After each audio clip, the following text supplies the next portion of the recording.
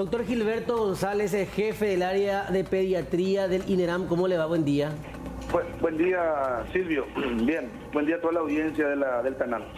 Doctor, eh, sobre el caso específico de una criatura fallecida ayer en el INERAM, eh, ¿se confirma que fue por chikungunya? Sí, esta es una bebecita que había llegado de la ciudad de Hernandarias, que habían pedido cama dentro del sistema del, sistema de, de SEMEN, el sistema de fabricar pacientes en, en las camas de terapia intensiva llegó el viernes a las 11 de la noche aproximadamente. Le estuvimos peleando todo ese fin de semana, ¿verdad? Con, con, todo lo que tenemos para tratar de revertir el proceso de su enfermedad, ¿verdad?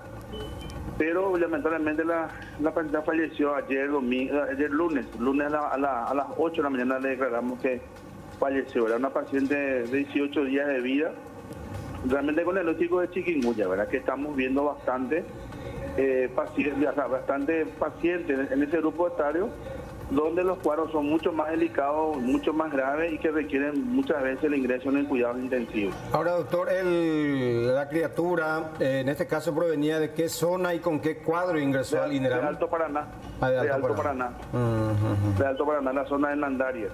Toda la zona del país realmente en este momento están prácticamente eh, con muchos casos de chikungunya, Caguazú, Cazapá, y Alto Paraná también no, está exento de eso, ¿verdad? que existe una gran población en ese lugar. ¿verdad? Eh, pues, digamos, ¿cómo le afectó este cuadro a, la criatura? en que, si nos puede comentar también. Estos pacientes llegan prácticamente, eh, bueno, muchos de ellos también hacen toque neurológico, nacen una meningoencefalitis, y los pacientes llegan también lo que configura lo que se llama un choque, ¿verdad? Este virus entra en el sistema los más pequeñitos y le produce una insuficiencia importante circulatoria que compromete la, compromete la irrigación periférica y eso hace que el paciente eh, empiece a estar en choque, ¿verdad? Y hace muy difícil su manejo que le puede llevar a complicaciones mucho más serias y va tocando varios sistemas de su cuerpito y que le lleva al deceso, a pesar de los esfuerzos que hacemos en cuidados intensivos, ¿verdad? ¿Y usted como pediatra, qué tipo de recomendación podría brindar eh, a las embarazadas, eh, a las madres que dieron a luz recientemente, en cuanto a cuidados y medidas preventivas, digo. Claro, por eso es importante también que socializar por estos casos. Ciertamente son casos los más graves, pero es importante proteger en este momento al grupo etario menor de tres meses sobre todo los recién nacidos tratar de protegerle sobre todo que no le pique el mosquito, usando lo, más barato, lo más sencillo, tratando de usar mosquitero, ¿verdad? Ponerle mosquitero a los más pequeñitos, tratar de no exponerlos mucho a afuera, ¿verdad? En este momento. Y en lo posible, si es que se puede utilizar eh, utilizar repelente. Sabemos que el repelente también tiene un costo, ¿verdad? Eh, bastante importante que muchas veces uno no puede acceder al repelente todas las veces, ¿verdad? Pero el mosquitero, por ejemplo, es una medida bastante económica y no, no que uno puede usar. Eh, dos cositas. Eh, primero, eh, el bebé llevaba 10 días de internado ya en un centro médico privado en Alto Paraná. A los 8 días de, ocho días de nacer contrajo la enfermedad. O, ¿Cuál es el, periodo de...? No, este, este bebé estuvo en la casa, este bebé. Ah, este bebé se contagió, sí, este bebé se contagió estando fuera de la... El bebé nació. Sí. Sin problema. En la casa se contagió. En la casa se contagió, pero el bebé llegó Recién ese día llegó, no, estuvo internado nunca. Ah, no, ah, ah, recién llegó ese día. Eh, exacto, llegó, llegó con fiebre, verá, llegó con fiebre a la unidad sanitaria de Nandarias, llegó con mucha fiebre, entonces eso fue lo que se encadenó y ahí se configuró el diagnóstico. En este momento lo que hace es que todo cuadro febril en un paciente, tanto adulto como niño, es eh, una, una arbovirosis hasta demostrar lo contrario, ¿verdad? Y, con respecto al uso de repelentes, ¿es recomendable o no usarlo en recién nacidos? Sí, hay, bueno, el recién nacido no se recomienda mucho, mm. pero se, por eso el mosquitero, ¿verdad? Porque es una, medida bastante económica para proteger a, los más pequeñitos, ¿verdad?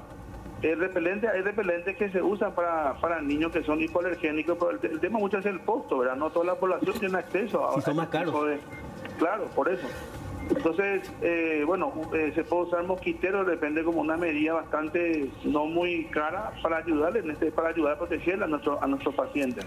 Eh, doctor, en, el, en su área de pediatría, ¿hay otras criaturas en condición delicada por chikungunya o no hay en sí, En realidad que yo manejo manejo la parte de cuidado intensivo, ¿verdad? Que, son los, que son las unidades donde sí estamos recibiendo tanto el pediátrico, el nacional, IPS, ¿verdad? Que son las grandes unidades de cuidado intensivo pediátricos estamos recibiendo este grupo paciente. Y actualmente tenemos, bueno, felizmente también hemos tenido pacientes que les rescatamos y salieron ya a la sala de pediatría. Ayer, por ejemplo, tuvimos un bebé que vino a la zona de Barrio San Pablo, acá en Asunción, un bebé de dos meses que entró también por, por pero no requirió ventilación mecánica ni tampoco ningún tipo de asistencia y tuvo más o menos 72 de nosotros y salió ya a la sala de pediatría, superando el cuadro ya prácticamente.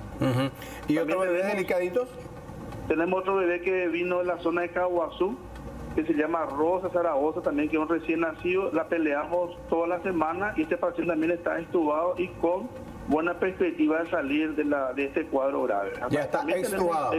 Sí, salió ya el ah. ventilador mecánico. Ah, ya, ya, ya. O sea, también tenemos éxito en el Depende mucho también del momento que llega el paciente. Son pacientes muy pequeños, su manejo no es fácil. Muy frágiles, muy vulnerables. Así mismo, así mismo. Y bueno, doctor, éxito a todo el equipo, eh, a seguir trabajando, muy gentil. No, usted es muy amable y es importante también porque socializar, ya sé que son situaciones muy difíciles, pero por lo menos sensibilizar a la comunidad, ¿verdad? Y, la, labor de usted también es muy importante, ¿verdad? Para compartir nuestra experiencia y también hacer una llamada de atención a la comunidad, ¿verdad? Para que le protejan sobre todo grupos etarios más vulnerables son los menores de tres meses. Totalmente, sí. Doctor, muchas gracias. A, ustedes. Hasta luego, que tengan buen día. Diez lactantes fallecidos ya por chikungunya, en lo que va del año. Terrible. Una cifra alarmante. Alarmante. Y 15, en, terapia, intensiva. Realmente es alarmante esta situación y por eso insistimos en la limpieza de los baldíos, en la limpieza de nuestros propios patios, que si bien uno puede decir, no, a mí no me va a agarrar la enfermedad, hay que pensar en el bien comunitario también. No, ahora uno ve mosquito y ya genera terror. Terror, terror. terror.